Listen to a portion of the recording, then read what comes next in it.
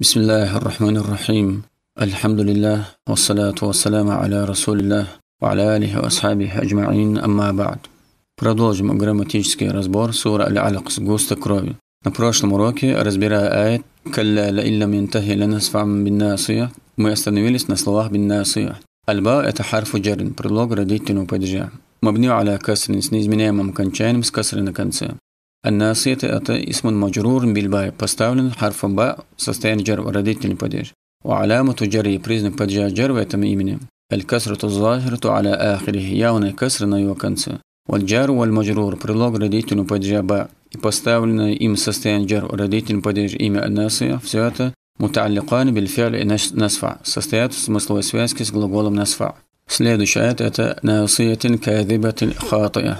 то есть хотим его за лживый грешный хохол. Наситан – это бадаль мин насити, то есть заменительное приложение предыдущего имени насия. То есть бадалю накиратин мин ма'рифа. Как мы видим, здесь у нас имя в определенном состоянии, насия было заменено, его заменили именем в неопределенном состоянии, в неопределенной форме насиятин, без аль в начале.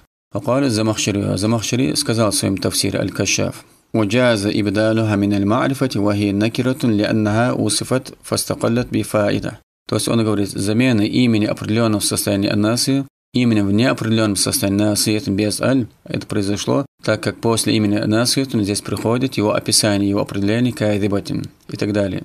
А это уже дает новую пользу. Однако Абу Хайян, рахимахуллах, в своем тафсире Аль-Бахру Аль-Мухиту не согласился с этим. То есть Рад ибн Хайян, аля Замахшари, рахимахумуллах, факал. Ибн Хайян говорит, приводя слова Замахшари. وليس شرطا في إبدال النكرة من المعرفة أن توصف عند البصريين خلافا لمن شرط ذلك من غيرهم Опровергая сказанное автором книги Аль-Кашаф Аз-Замахшари, Ибн Хайян, рахималлах, говорит, при замене имени в определенном состоянии, то есть аль-марифа, именем в неопределенном состоянии, то есть аль-накира, не является условием наличия после имени в определенном состоянии определения, то есть описания, или, скажем, описания.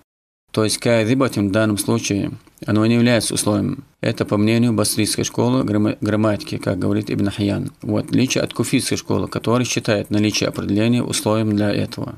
Итак, наситун – это у нас бадаль, замена, заменительное предложение для аннасия, предыдущего слова аннасия.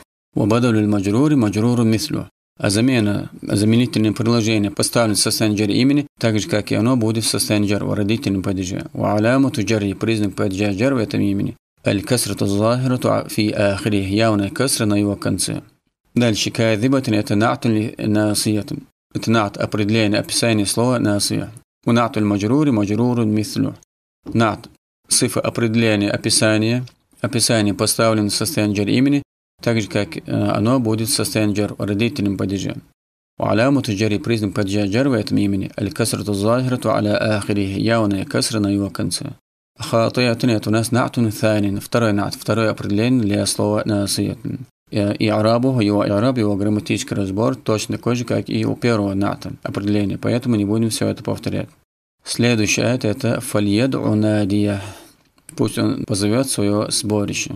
Альфау истинафитн. Харфа здесь обозначает возобновление нового предложения, возобновление предложения, на новое предложение. Или же можно сказать «Аульфау альфасиаты». Или фа, здесь это фа, указывающее на то, что данное предложение является ответным предложением для скрытого условного предложения. То есть, так называемый аль-муфсахату ан шартин мукадрин. В обоих случаях альфа это у нас харф мабни аля фатин харф с неизменяемым окончанием, с фатха на конце. Значит, значение в этом случае, во втором случае у нас будет «Ида лам янтахи вастамарра аля куфрихи фальяд'у надия». То есть, если он не остановится, будет продолжать в своем куфре, то пусть позовет свое сборище. Лиету аллам – это лямуль амри, лям – повеление, приказа. Яд'у фи'люн мударян – глагол настоящего будущего времени. Маджзуман билями – поставлен частицы лям в состоянии джазм, усеченное наклонение, усеченное состояние. Уалямату джазми – признак состояния джазм в этом глаголе. Хаддфу – харфиль аллет – удаление слабой буквы на конце. Вахуаль вау – удаленная буква здесь – это вау.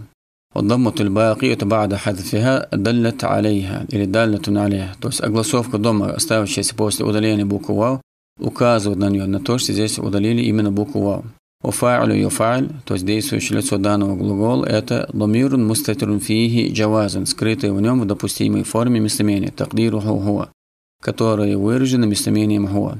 Вальфи'алю ма фа'или, глагол «ед'у» со своим фа'илем, действующим лицом «хуа», все это джумлятун фи'алиятун, глагольное предложение. Истинафиятун, возобновленное новое предложение. Или же, если согласно второму варианту, ауджавабу шартин гойри джазимин. Или же ответное предложение для условного имени «ида», который не ставит глагол в состоянии джазм. В обоих случаях мы скажем, что это предложение «ля махалля ляха мин аль не имеет места в падеже. Аллаху а'лам. Остановимся на этом, продолжим, иншаллах, на следующем уроке.